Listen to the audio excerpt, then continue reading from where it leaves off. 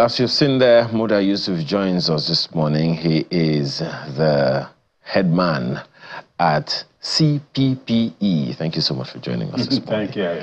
Um, there's uh, an indication this morning on the front pages of the paper. Some of the papers are talking about power supply. Let's begin from there. Uh, the uh, Daily Trust actually was very, very explicit that millers, barbers, literally small businesses, they crying, you know, about the effects of massive blackout in the north, saying that power outage is grounding their businesses and um, that a state of emergency should be declared in, the, in the electricity sector. At the end of the day, it's the effect that that is having on the economy that is germane. What's your take on that to begin with?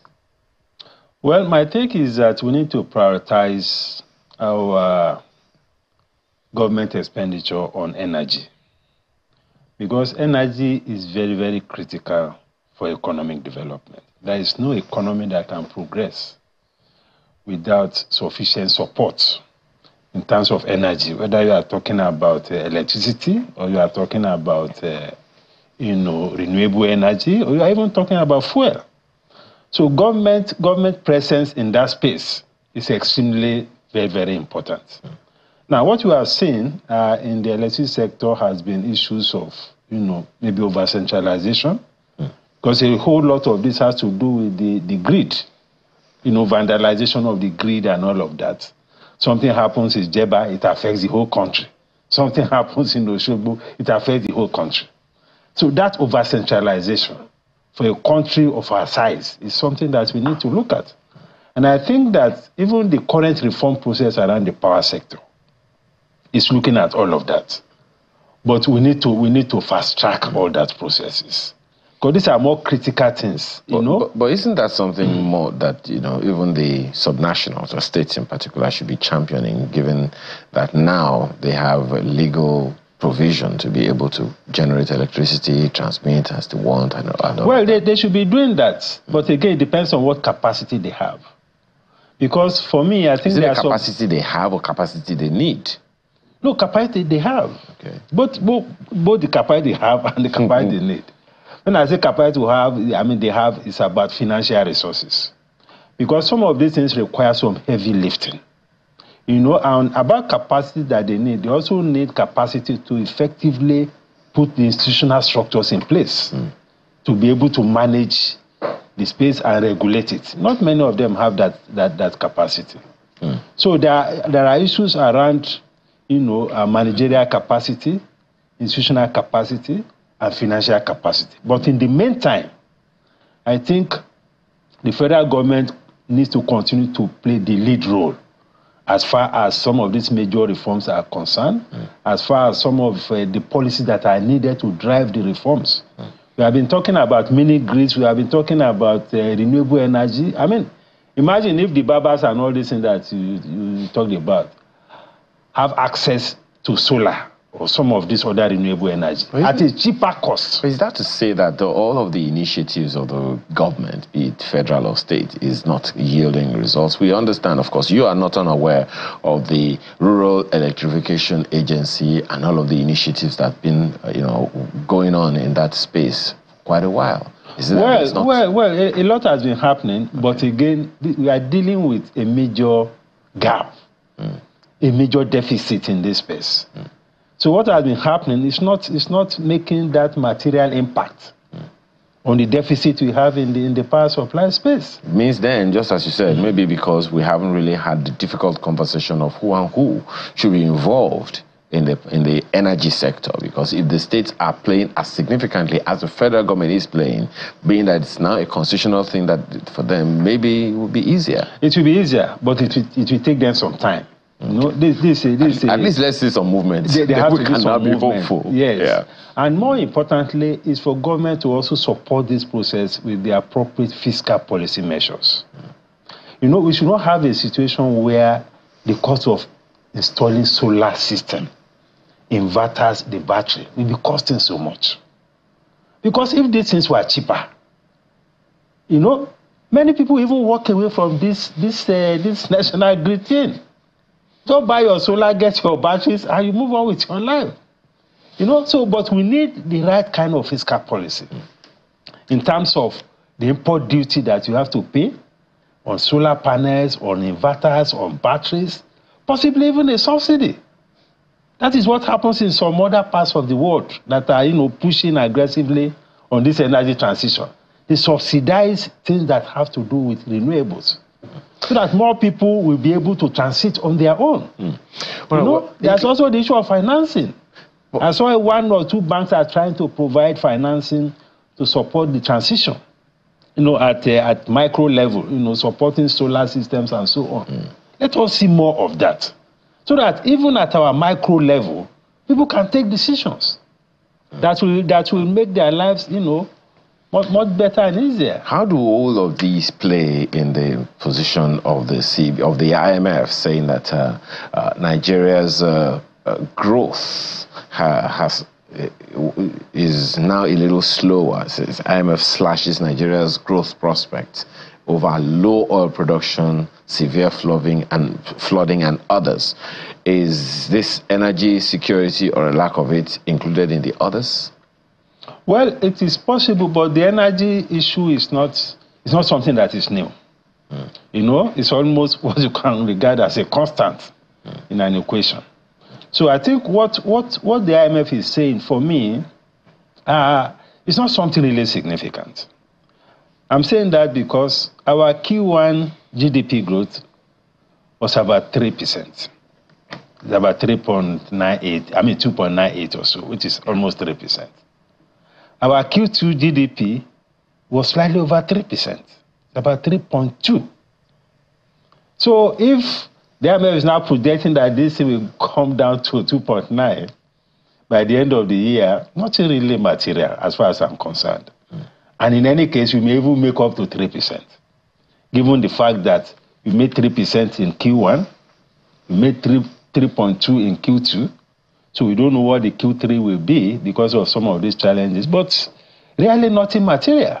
Mm. You know, what, what, is, what is more, more important for us now? It's not even the issue of all this GDP growth and all of that. We are more bothered about the issue of cost of living, cost of doing business, you know, how prices can come down. Mm. These are the critical issues. Because when you talk to citizens about IMF projection and all of that, for many people, it's just something that's purely academic. Just want to get by and, the day. Yes, and, and so what? GDP is going to move to 3%, 4%, and so what? Mm. You know? So but, the critical issues is what we should be bothered about. So when IMF speaks, sometimes you wonder whether well, you they're really addressing the core issues you know, that we are dealing with. I mean, look at our performance in Human Development Index. Look at our performance in manufacturing capacity utilization. Look at the poverty situation. Look at the very depressing data that is coming from the world. But aren't these other all you know, part of a whole? No, no, no. You see, the focus of IMF most of the time, IMF has the social content in their in their perspective is very, very minimal. They're always looking at some of this data, abstract data, GDP, and all of that. You know, they don't they don't address so much issues that that have serious, you know, bearing on businesses, on SMEs, and more importantly, on the welfare of the people. But if you, know, we, we, need to be having more conversation. Hmm. But if you look at around that, yeah. But if you look at the issue that that IMF raised, one of the issues, one of the consequences, rather one of the causes of that projection is low oil production. And you would also listen to the Minister of uh, Finance and Coordinating Minister of the Economy also saying that if we improve oil production, we will boost FX inflows. And how significant is that for you? That is not news. I mean, that is that is. But how do you that, that, that, that, that is what we all know. How is it? How sh- and, you, uh, are you optimistic about that? That's the real question. Well, well, I'm, I'm, I'm optimistic because I know that the government has been doing a lot trying to tackle the challenges that has been impeding oil output. You know, issues of oil theft. I'm also aware that the government has been doing a lot to drive investment, especially in gas. You know, because we have even bigger endowment in gas than in crude oil. you know, a lot of incentives, and I see that a lot of investors are showing a lot more interest in investing in gas. I think that is something that is significant. So if we're able to make, you know, significant progress along those fronts, of course, it will have a significant impact on the entire macroeconomic environment. Because no matter what we say, oil is still the bigger issue as far as FX is concerned today. You are talking about boosting our, our foreign exchange inflows, it has to start with oil. Because that is perhaps the low hanging fruit for us. If you can remove some of these impediments and all of that. So if you are able to make progress, I mean, luckily oil price is very high now. You know, so it's a big advantage for many oil oil producing countries. But then there, there are those who are still in that space. Maybe mm. just one of the segments of oil production mm. is the uh, petrol. Recently, there is news fil- filtering around that our petrol consumption has cut, come down because of the increase in the prices. Um, what do you make of that? There are those who are saying that as a result of the increase in prices, um, bunkering has reduced, um, illegal exportation of our petroleum products have reduced in the country. Do you agree with them? Is there validity in that? But as a third point, many people have also packed their cars. Those used to buy full tank or half tank and now buy a quarter of a tank. Some, some of them, some people have also said that look, when they go abroad anyway, they don't even drive their cars; ah, they go in public transport and all of that. But you what, know, is it, is so it not valid? No, it's, it's valid. But what I'm saying is that we need to expand the variables. Okay. Yes, the smuggling will reduce because the incentive to smuggle has, has, has practically been eliminated. But the, is, it, is it actually significant on the, the number of liters that we consume in the country? Does it, does, does it help to produce real figures? Of course, it helps. You see a clearer figure, you know, when you have this kind of thing. But again, we need to disaggregate the drivers of these figures. They are the, they are the fact that even domestic consumption had dropped significantly. I mean, you can see that, I mean, in many places where you used to have a lot of traffic, there is, there is, there is not so much traffic anymore. You drive into the filling station now, you spend 10,000, maybe you get uh, maybe 10 liters or, or even less. So you have to, you have to plan your, your journeys. You have to determine where to go and where not to go. So there's a lot of economics now around, you know, the use of fuel. People are now much more conscious. They are now much more economical. You know, so that is also a major factor. So there is a factor of the fact that even in economics, you see, once prices go up, the demand drops. This is also reflected in, in, in the demand for fuel. So we are seeing a much, a much, a much more realistic figure. But again, this is not also such a big uh, positive that many people cannot put their cars on the road. You know, uh, because I mean, what alternatives do you have? It's a different thing if you are in an environment where you have very, you know, good public transportation system, especially for the middle class. You can park your car and go. You are sure of the timing that the bus will come. You are sure that the bus will be decent, it's well maintained, and all of that. There's a train that you can go go to the uh, train station take the train, no traffic, you are comfortable. So for me, that is that is that should be our aspiration. So that even voluntarily people will decide to even just as we have abroad. But we don't have that yet. So that is why I feel that we need to make it slowly. You know, with this with this deregulation of a thing. I'm talking of the PMS.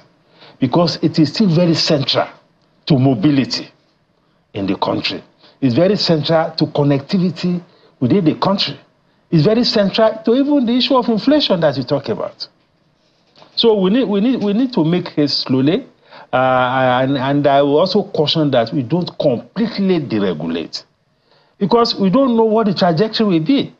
If, for instance, Israel now strikes uh, Iran and all of that, and crude oil price jumps up, are we going to still remain in the cost to say that we are completely deregulated?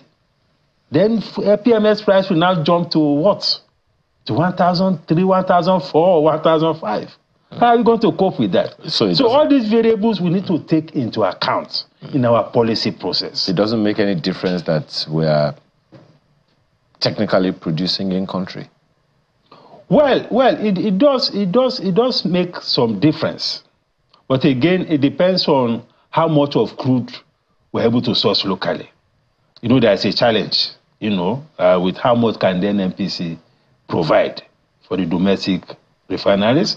It's also uh, there's also an issue as to what exchange rate, because yes, it's a good thing what the government has done that will be selling the crude to domestic refineries in naira, but at what exchange rate?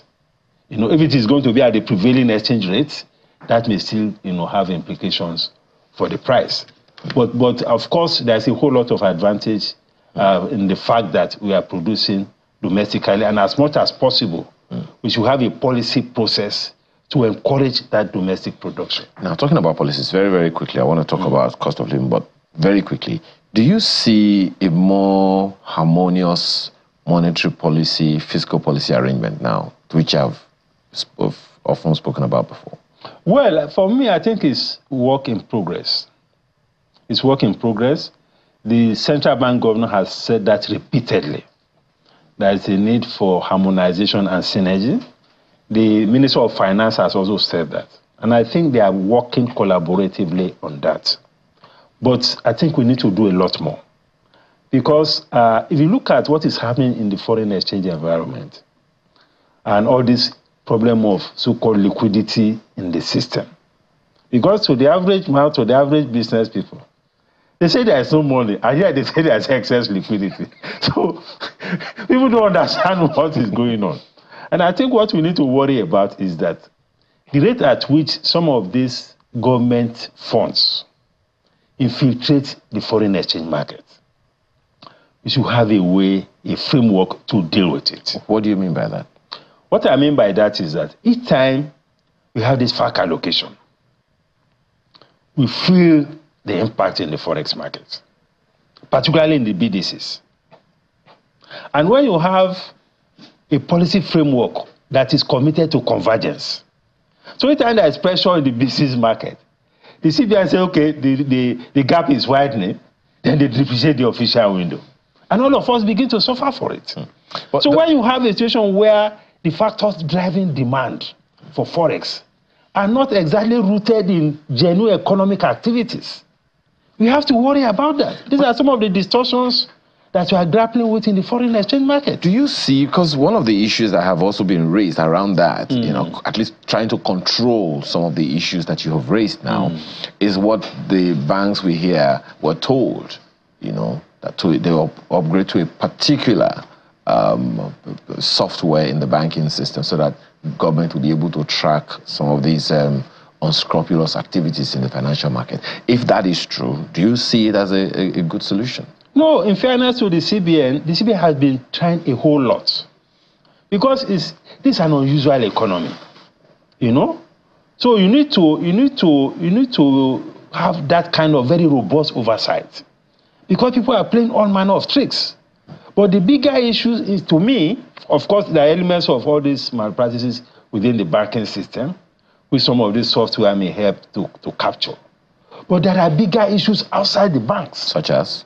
I mean, I'm talking of the parallel market, where people are just moving funds and all of that. You don't know what transactions is going on. People are moving. You know, there is. We don't have enough framework to monitor what is happening in the BDCs area, in, in the parallel market area, and what is happening there has significant implications For, don't- mon- for monetary policy. Don't all of these monies go through the banks? No, no, no, no, no, not not all of them.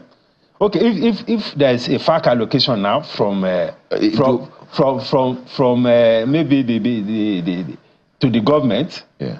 and it flows from there to the BDCs, maybe in cash because sometimes I'm wondering, is it, that, amazed. is it that they go to the the, that the FAAC allocation is the big bags they carry, they take away from the, I I don't know how they do it Okay. because there's a lot of creativity. all right. around all those Creativity. Yes. Interesting. Yes. But I have to ask you this question before we sign off, uh, you know, Dr. Yusuf. What are the low hanging fruits for the Nigerian? The cost of living is killing uh, quite a number of people, and particularly at a time like this when the banks or some of the banks and all of them as they're going to go through the process are having this turbulent challenge, this transition, turbulent transition challenge. What are the low-hanging fruits for the Nigerian? Well, the low-hanging fruit for me will be around fiscal policy. We have had enough of monetary policy efforts. I'm talking of tightening and all of that. Even though the IMF is still you know, urging the CBN to continue to tighten. But as far as I'm concerned, we have almost reached the limit of monetary policy tightening. So the focus should shift to the use of tax policies, to the use of fiscal policies, which is what all this presidential committee on fiscal policy and tax reform is all about. We should reduce our tariffs, we should reduce our cost of imports, we should reduce the cost of clearing cargo at the ports, you know, and we should reduce taxes. Because you cannot be tightening the noose on all fronts. And how long do you think all of this will take? It doesn't take time. Mm. I mean, it doesn't take time. If, if we get our bureaucracy to work well, mm. we have some policies that have been announced on fiscal policy, on food importation, on pharmaceutical products. Some of them are yet to be implemented. So we need to work on the implementation machinery. I don't even want to you go know? into that uh, proposal we hear is in the National Assembly now for some tax laws. Yes. Don't even go there yet, Dr. Muda Yusuf. Thank you so much for your time. Thank you. Thank you. He is founder and CEO of Center for Promotion of Private Enterprise. Really appreciate your time. Thank today. you. It's a pleasure. Markwe Chamberlain.